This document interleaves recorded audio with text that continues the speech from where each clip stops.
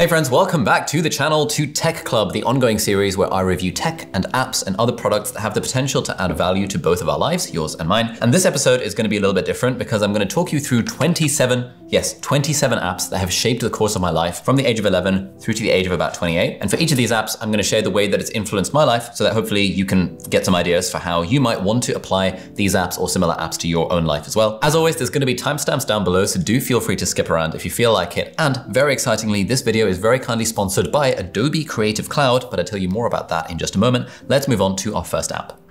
And app number one is in fact Notepad. I discovered the wonders of Notepad when I was around about 11 years old, and Notepad was the first app that I would say has shaped the course of my life because I learned how to code by using Notepad. I taught myself HTML and CSS using the internet, essentially. Back in the day, it was a website called W3 Schools, and I taught myself how to code, essentially making .html pages on Notepad and seeing how they would render in Internet Explorer. I think it was Internet Explorer 6 or Internet Explorer 5 at the time, the browser. And it was really through Notepad that I made my first website. And this bug that I had for creating websites was something that served me for such a long time. And even now, today, I still think it's really, really valuable for people to learn how to code. If you're watching this and you're interested in starting a side hustle or making money on the side or, or anything like that, learning how to code is a remarkably useful skill, not just the domain of software engineering, for example, you know, learning to code, learning how to make websites. And we've got a few more apps in the rest of this video. They're going to be themed around this building websites thing. Building websites has opened up so many doors for my life, even when I was in medical school and beyond. And it's just a skill that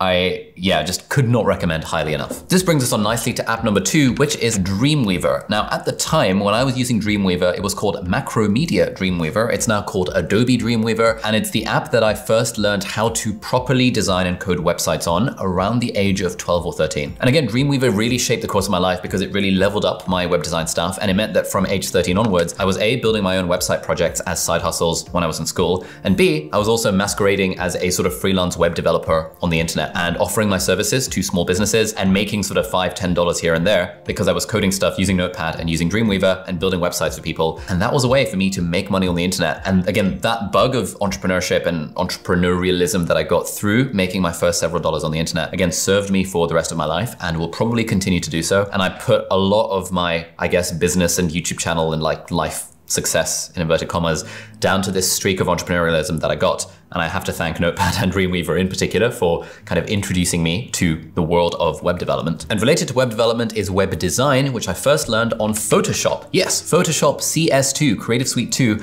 Again, back when I was like 13 years old. Because initially I was right, kind of writing HTML and CSS code on Notepad and through Dreamweaver. But then I realized, oh, I want to make logos and I want to make fancy banners and I want to make like forum signatures. And so I managed to get hold of a copy of Adobe Photoshop CS2 at the time and taught myself how to use Photoshop and to do this kind of web design stuff. And so now when I was making money on the internet and doing my own personal project, it wasn't just development that I was doing, it was also web design. Again, this is an app that has shaped my life because the skill of designing websites and designing graphics was a skill that I, I then used throughout my school years up until 18. I used it throughout medical school to design brochures and flyers for university societies. I used it to design medical technology apps, which got me hired as a freelance app and user interface designer while I was in med school, which helped me make about 100 pounds an hour. That was the rate that I was charging back in the day. And ultimately, this love for design was the thing that made my YouTube channel, this YouTube channel look legit, even five years ago when I was getting started out. And so I do owe a lot of my success to Photoshop and to the web, web and graphic design skills that it taught me. And even now, I still use Photoshop for designing websites and for designing thumbnails and for kind of mocking up things for my YouTube channel and for the rest of the business. And that's one of the reasons why I'm delighted to say that this video is sponsored by Adobe. Adobe is absolutely dream brand to work with because as I said, I've literally been using their stuff since, since the age of like 11, so the last 17 years of my life. Now, back in the day when you wanted to use things like Photoshop and Dreamweaver and like Lightroom and After Effects and Audition and all of the other tools in the Adobe Creative Suite, it was called Creative Suite back in the day,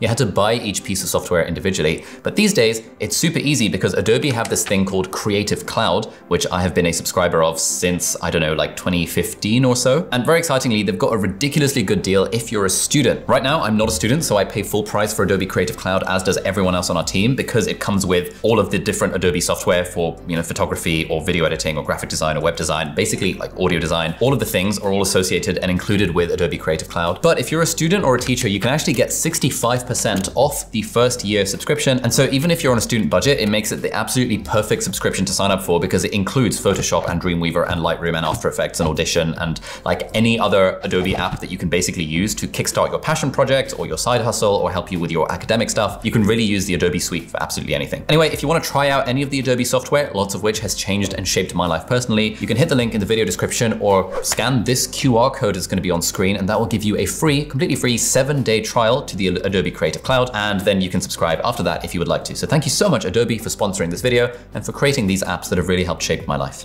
So app number four was in fact World of Warcraft, uh, which I don't have a lot to say about otherwise, other than it shaped my life for three years, where, where I was playing it for an average of three and a half hours each day. Through that, I became good friends with two of my school friends, Chris and Omar, and we're still friends to this day. And it's the game that helped me appreciate why gaming is so fun.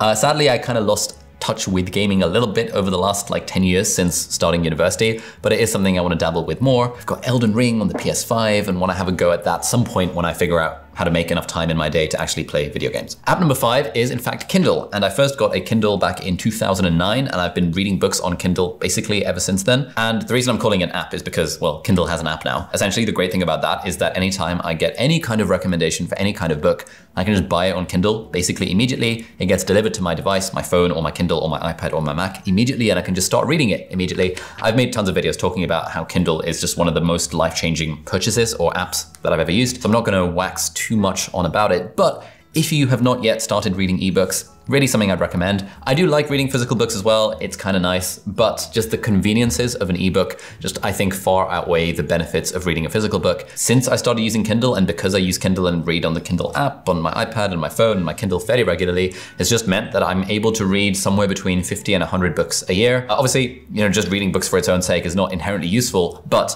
I think over the last like 18 years of my life, I've absorbed so much really useful kind of information and content and learnings through the medium of books that if it hadn't been for the Kindle app, I don't think it would have been anywhere near as easy for me to do that as it was. So again, thank you Kindle for being a sick app. Definitely try out Kindle if you haven't already. App number six on our list isn't really an app, but I'm gonna call it an app because the word app sort of mm, app, website, tool, whatever. And it's in fact WordPress. Now WordPress is a kind of website builder and it powers, I think, around 30% of the internet these days. But I started using WordPress when I was, I think, around 14 or 15 when I was doing this freelance web development, graphic design type stuff. Because loads of people's websites would be hosted on WordPress. And when people would want me to make a website for them, I would just generally buy a WordPress template off of ThemeForest and then I would just edit the template. And they would think, oh my God, this website is sick. How did you do that? And WordPress is great because it lets people actually edit the text of their own website without having to know how to code. So from about the age of 15 to about the age of 25, I was using WordPress at least every week, if not potentially every day. My whole first business, SixMed, was built on top of WordPress websites and WordPress themes, and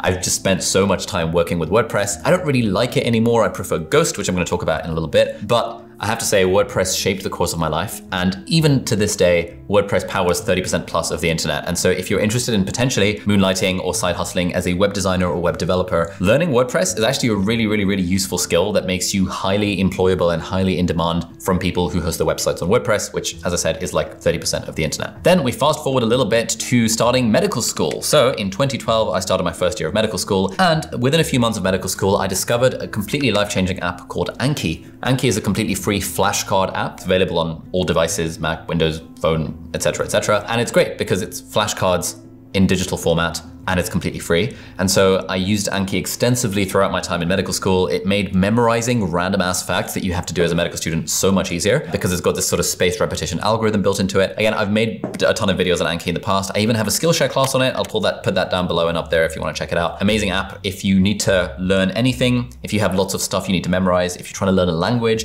Anki is just absolutely sick for that kind of stuff. And next, another technique that I discovered, which really helped me throughout medical school was in fact the Pomodoro technique, which you've probably heard of. Basically, you work for 25 minutes, then you take a five minute break. And then you repeat this times four, and then you take a half an hour break. And the Pomodoro method was essentially how I would work with my friends in different libraries around Cambridge, where I went to university. Now, there's kind of two ways that we would time ourselves when it came to the Pomodoro method. Firstly, we would use a website called Tomato Timer. I think that's what it was called, but it was just a random website. You can just Google the phrase Pomodoro Timer and we'll pop up a free website that lets you time that. But a few years into medical school, I discovered a really good app for the phone called Forest. And Forest is great because Forest is like basically a Pomodoro timer. You set a timer for 25 minutes, but in those 25 minutes, it sort of locks you out of your phone And if you try and go on your phone or get distracted by notifications, as you're working, it plants a tree and the tree grows, but if you go off that and you get distracted, then the tree dies. Again, it's just a little bit of fun. It's basically a glorified 25 minute tomato timer. But the fact that you're killing a tree, allegedly, when you kind of get distracted meant that I was getting not distracted.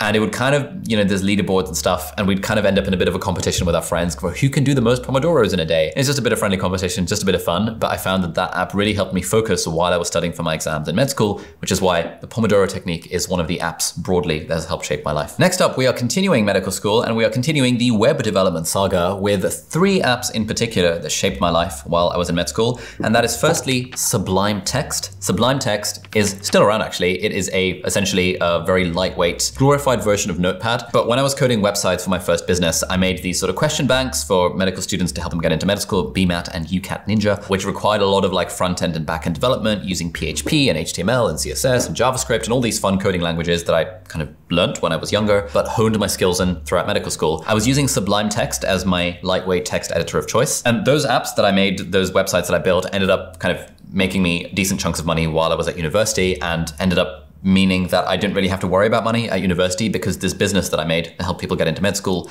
was generating enough income. And there were few enough people at the time, I think it's much more crowded now, but at the time there were few enough people doing this and doing it well that my skills in web design and web development really helped our business stand out from the crowd. And so I really owe a lot to kind of being in the right place at the right time and having the right skills. Again, knowing how to code, knowing how to make websites, which is still stupidly useful to this day. But Sublime Text was really the app that brought it all together. Next on the list, we have the Laravel PHP framework. This is a bit technical. It's not technically an app, but it sort of is an app. Again, depends on your definition of app. I'd been kind of dabbling with PHP, which is a coding language, since I think the age of about 14, but I was using very much vanilla PHP, just like the absolute bare bones, basic essentials, and doing a lot of like really, really, really bad coding in the grand scheme of things. But then when I was in my second year of university, I discovered the Laravel PHP framework and a website called Laracasts, where a chap called Jeffrey Way, who's a developer, would teach tutorials on how to use Laravel and how to program in PHP properly. And I would watch those tutorials while I would be having my lunch when I was at university. And through osmosis, I just learned so much about web development in PHP, and then I used this Laravel framework to develop these two websites, BMAT and UCAT Ninja, which ended up making decent chunks of money. So thank you, Laravel PHP framework, for being sick. And it's still really good. It's still very much actively in development. So if you're interested in learning to code, if you're interested in using PHP potentially, then I can I can't recommend the Laravel framework highly enough. And associated with that, we have app number 11, which is in fact Stripe. Now, back in the day, I can't remember how long, uh, how long ago this was, but back in the day, it was actually surprisingly hard to accept payments on the internet. These days, it's super easy, thanks mostly to Stripe, which is a company that just made it super, super easy for developers to accept payments on the internet. And so using Stripe made it super easy to collect payments for our courses, but also to collect payments for this BMAT and UCAT question bank that I built. And before that, you had to like hack around with PayPal. PayPal's a total nightmare, but Stripe and learning how to use Stripe and learning how to use Stripe checkout and the other features associated with Stripe, again, just helped our business become profitable basically from day one. So thank you, Stripe, for that. And again, Stripe is still used by loads of people around the world to essentially accept payments. So if you're, again, learning to code, if you're a coder, if you're a developer, you've almost certainly heard of Stripe because it's absolutely huge, but that was an app that really shaped I guess, the course of my business and therefore the course of my life. All right, next we have app number 12, which is in fact Google Drive. I started putting everything on Google Drive, I think from my first year of university onwards, because I had a hard drive failure and lost everything before that point, and I decided never again. And Google Drive was the one that made the most sense because I was using Gmail, I was using my Google account for everything. I didn't have an iPhone at the time, and iCloud Drive hadn't, did not exist at the time. But basically, since 2012, I've had my entire life on Google Drive. And one of the main ways in which this, I guess, shaped my life was the fact that I made this sort of shared Google Drive for all the medical students in my college, and we would all share essay plans together and share revision notes and stuff. And through having this shared Google Drive, it made all of our studying way more effective and more efficient and streamlined all of our collective processes of getting through medical school because we were all sharing notes and resources. It's a thing that I encourage every other student to do as well. I think it's very easy for students to feel competitive, like they're competing with the other students in their class. But I found that the more collaborative you are as a student, the more easy life becomes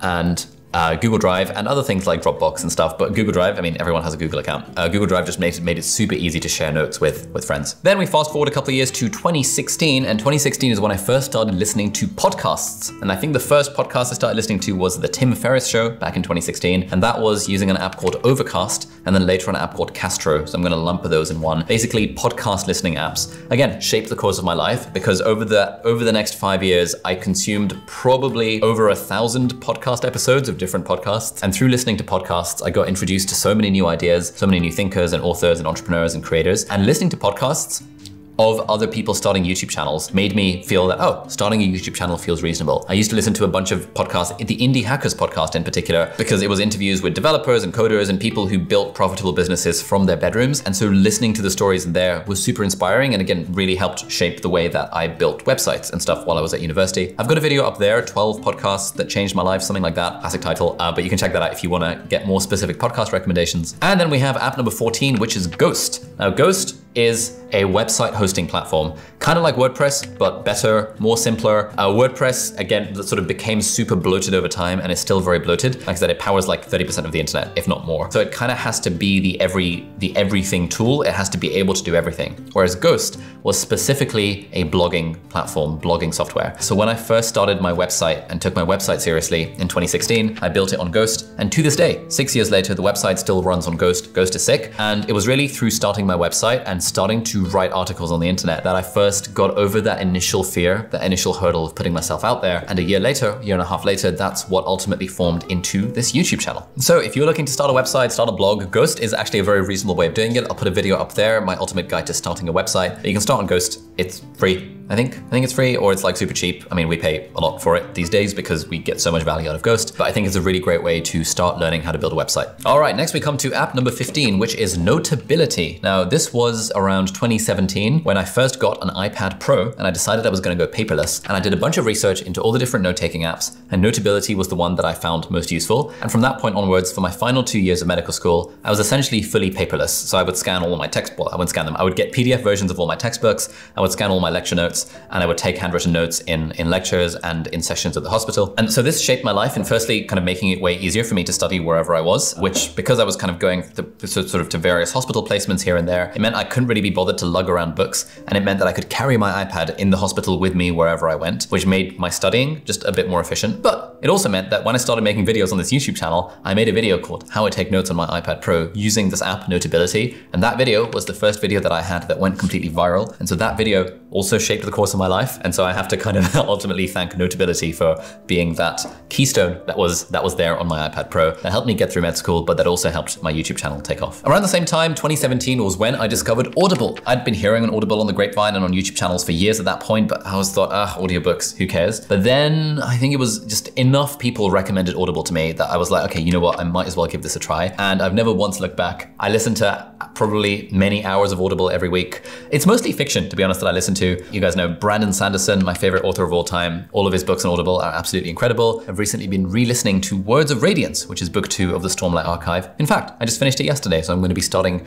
the reread of book three, Oathbringer. But yeah, Audible is sick. I'd be listening to Audible audiobooks when I was at the gym and when I was kind of commuting to and from work and to and from placement in medical school. And now as I walk to and from the studio, I listen to audiobooks. So yeah, 100% recommend Audible if you haven't I mean, you must have heard of it by now. Everyone talks about Audible. This is not even sponsored by Audible. I just love it so much. And so I'd 100% recommend trying it out if you haven't yet. App number 17 that shaped the course of my life is an app called Sketch. Now, Sketch is not actually that popular these days. It's sort of been superseded by apps like Figma and in fact, Adobe XD. But Sketch was sort of a really useful tool back in the day for designing websites and being able to sort of quickly mock up websites and then kind of transfer that into CSS code and, and, stuff. And essentially using Sketch, I did a whole redesign of all my websites for my business, but I also started doing a bunch of user interface design. And I'd be using a combination of Photoshop and Sketch and putting those together to design kind of screens and uh, interfaces for various medical technology apps. This was around about 2017 when I was in my fifth, sixth year of medical school. Again, this ties nicely into the thing. It's like, it's like 10 years after I first started learning how to design websites. I'm still doing web design and app design. And because of this ability that I had as a medical student to design apps and make them look pretty, so many doors opened up for me in terms of like plastic surgeons that I wanted to become friends with and things that I wanted to get involved with where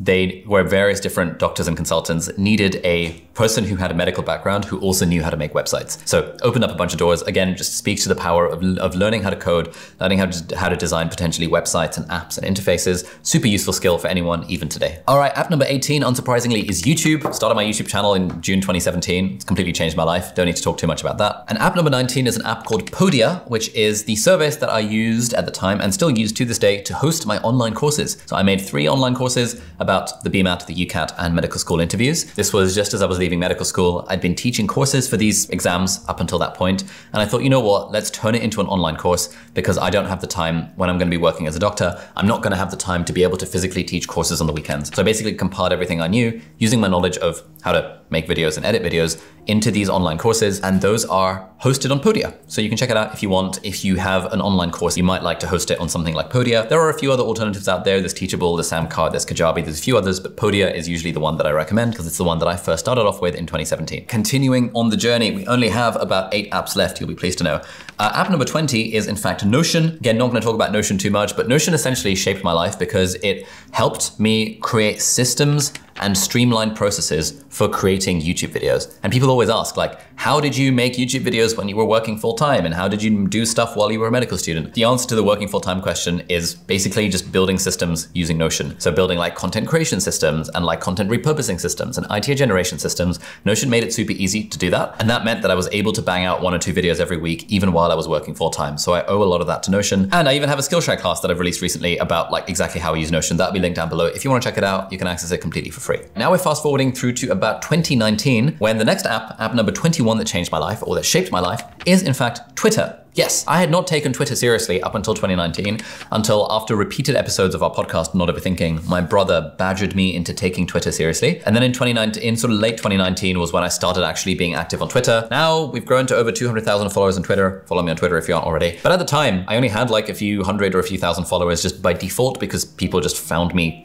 through the YouTube channel. But I started making friends with people like Thomas Frank and Sarah Dietschy and other YouTubers who I had been watching and admiring for some time. And it was really through Twitter that I made friends with these guys and girls. And I still say to all the students of my part-time YouTuber Academy that Twitter is the single best platform to make friends if you are a creator, because every other creator also seems to be on Twitter. A lot of the friends I now have are friends that I, that I originally made through one of us DMing the other on Twitter and being like, hey, we have a mutual respect and appreciation of each other's work. Let's be friends. And I've met, like in the last six months, a bunch of people in real life as kind of borders have opened up post lockdown that I've initially met through Twitter. And secondly, Twitter's really helped shape my life because if you follow the right people on Twitter, it, it just gives you a stream of really interesting, thoughtful stuff that you can read or watch or listen to. So to be honest, most of the recommendations that I get for books or blog posts or podcasts or documentaries or anything like that, I get from Twitter. And so it's, it's really helped shape my life in that sense as well. So I guess moral of the story is if you are not yet on Twitter and you still view Twitter as being a stupid, pointless platform to just complain about the news, then it's because you're not following the right people. If you follow the right people, and if you want to know how, you can look at my profile and see who I follow. And if you vibe with any of those guys, you can follow them as well. But if you follow the right people, Twitter becomes a fantastic source of anything like content or blog posts or articles or papers or about literally anything that you're interested in. It's just a fantastic resource all around. App number 22 that shaped my life is Transistor. Transistor is how we host my podcast times two. Firstly, I have Not Overthinking, which is a podcast that I've been doing with my brother every week ish for about three and a half years now. Damn, it's been three and a half years. We started it in 2019, and that's hosted on Transistor. Similarly, my podcast Deep Dive with Ali Abdaal is also hosted on Transistor. I'm again Twitter friends with the guys who create, created Transistor. They're really good. It's a fantastic app if you want to start a podcast. I'll put a link down below if you want to check it out. And then app number 23 that shaped my life is in fact Skillshare. Yes, I started making classes on Skillshare in late 2019, and now I'm fairly open about this. Uh, Skillshare classes make us about fifty to eighty thousand dollars a month, thanks to the fact that I've put about 12, 13 classes on Skillshare, and every time people watch them, which they can watch for free with a Skillshare free trial, then we get paid like a few cents for every minute that someone watches the course. And with enough courses and with enough people watching these courses and hopefully getting value from them, that turns into a stupidly lucrative line of revenue for the business. And it was really the thing that took, I think we were at about 10K a month in revenue. And then when Skillshare started to take off, it just jumped up to about 70K a month in revenue, almost like within, within the period of a few months. So I owe a lot to Skillshare and I still continue to make classes on Skillshare every few months because it's fun and it's free for people to access because you can just sign up to a free trial. So I'll put links down below if you want to check that out. App number 24 is Slack. Slack is our team communication platform. You're probably familiar with it. As soon as we started working with a team and hiring people and stuff, Slack just became the central source of all of our communication. And so I spend a lot of time on Slack and on Zoom these days. App number 25 is Frame.io, which is in fact owned by Adobe. Frame is essentially a tool that you can use to help outsource video editing. So again, in late 2019, when I first outsourced the editing of videos for this channel, Frame would be where the editors would upload the videos and I'd be able to leave comments, which was awesome because being able to outsource editing freed up loads of my own time. Uh, if you want to learn more about outsourcing editing, you can sign up to my completely free five day creatorpreneur crash course. It's like a five day email thing. It'll be linked down below if you want to check it out. But that gives you some information on how to outsource editing if you're a creator. App number 26 is again is a little bit niche and that is ConvertKit. ConvertKit is an email marketing and automation platform that we switched to, I think about a year ago. And a bunch of the revenue that flows through the business is ultimately through ConvertKit and through the power of our email list. Yeah, not gonna talk about that too much, but if you wanna learn more about the email side of the equation, you can check out my video up there, which is about how to start an email newsletter that could potentially change your life. And finally, app number 27, a little bit niche as well, is called Scrivener. Scrivener is an app that is designed for writers. It basically is software that lets you write a book in the software and split it up into paragraphs and then contents. And it basically helps you structure things, structure writing in a way that really helps with book writing. I've tried Google Docs, I've tried Pages, I've tried Word. None of them are just nearly as nice and distraction free as Scrivener is for writing a manuscript for a book. So again, it's kind of a bit, a bit niche. It's not really relevant to most people, but if you're interested in writing a book, I'd 100% recommend Scrivener. If you're interested in keeping up to date with my book writing journey, you can sign up to my book journey newsletter. It's completely free. Every other week I send an email just updating you about what's going on in the book and sharing some interesting papers and resources and videos that I've seen in my process of doing book research. That'll be linked down below. Do remember to sign up to Adobe Creative Cloud if you got to this point in the video and you fancy supporting the channel and also leveling up your kind of passion projects or your hobbies or your academic stuff. And if you've gotten to this point in the video and you like long and rambly videos like this one, you might like to check out this video over here, which is 28 life lessons that I've learned in 28 years in approximately 28 minutes. So that's a nice little long, long 28 minute video for you to watch if you would like. But otherwise, thank you so much for watching and I'll see you hopefully in the next video. Bye-bye. Roll in.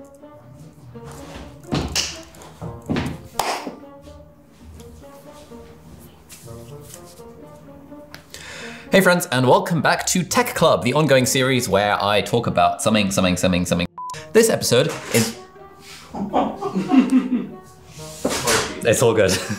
Thank you so much for the tea, most kind. Sort everything out. Do we have that pink mug?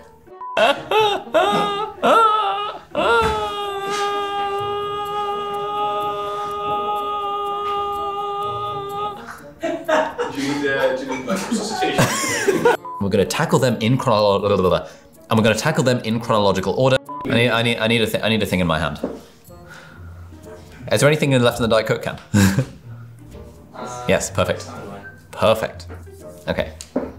You start again? Nah, That bit weird. nah, it's fine. Banter. It's continuity. Continuity errors are funny in YouTube videos. we should have a blooper section in this video.